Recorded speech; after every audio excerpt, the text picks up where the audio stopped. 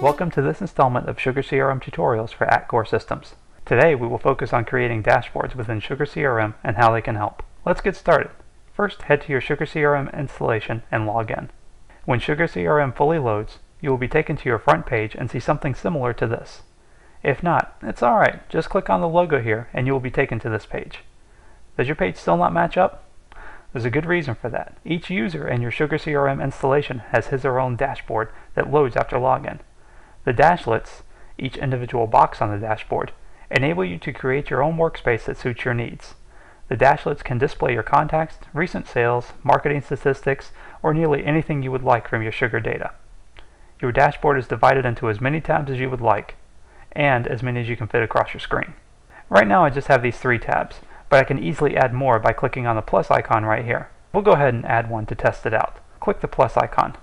In the box that pops up, enter the name of the tab and the number of columns that you would like for it to hold. I'll just select two columns. That was very simple. Now on to populating the dashboard with some information. Locate the Add Sugar Dashlets link in the top right of your screen. You will see a box pop up similar to this. You can either browse through the tabs and links within each tab or just perform a quick search if you know the name of the tab. I'm going to start with a simple dashlet to display my contacts, so I will click on that. After clicking My Contacts, a dashlet was added in the background, leaving the box up to add another. Let's go ahead and do that with another link and select My Favorite Reports. After that, just click X and close the box. You will now see your recently added dashlets. These can be dragged about the screen and reorganized as you see fit. As you can see, both dashlets are populated with data. This data can be narrowed down even further.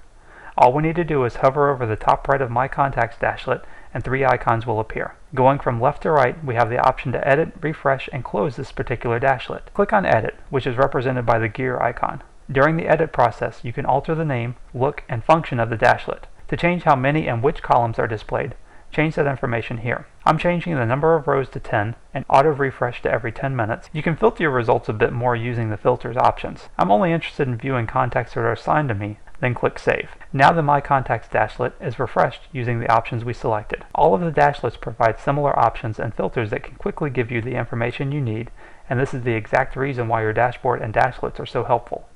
They can be used to access features within Sugar CRM that you use on a regular basis and need to access quickly, as well as allow more personal experience through organizing what you use. Feel free to add some additional tabs and dashlets to see what works best for you. Congratulations, you have successfully completed this tutorial on creating dashboard and dashlets within Sugar CRM and are well on your way to becoming an expert user. Feel free to come back to these videos at any time that you need a refresher, or if you need any further assistance, then contact your Sugar CRM support staff. Thanks.